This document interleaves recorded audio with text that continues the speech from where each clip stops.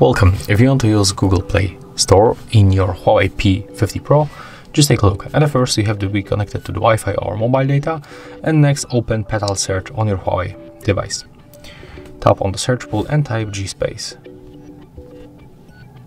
It will take like two minutes and we will be able to use our favorite Google apps. So we have to get this application from the app gallery GSpace. So click install. Right now we can open, click start, accept both permissions, click continue,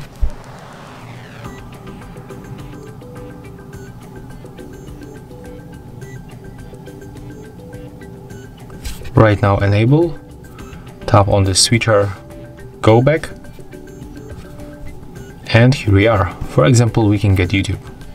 So tap on it, Right now we have to sign in with our Google account.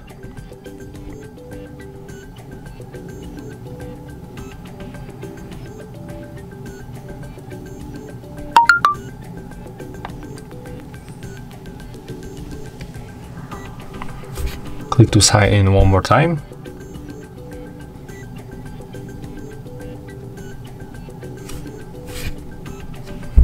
As you can see, sometimes mm, this this uh, application crash so uh, we have to keep trying and just click to login and finally we are here. So I'm gonna input my password I mean my account.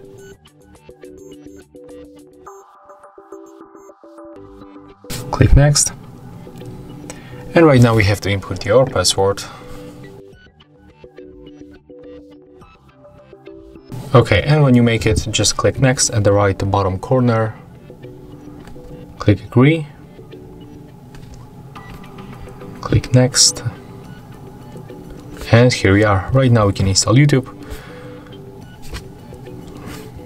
Let's try to open this application one more time.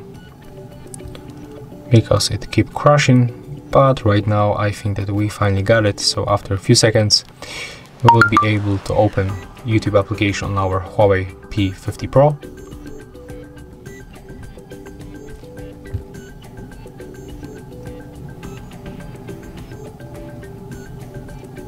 Okay, and as you can see, it's working. There's also our YouTube channel, another one. We can open, for example, this video. As you can see, everything is fine and the application is working, so right now we can close it.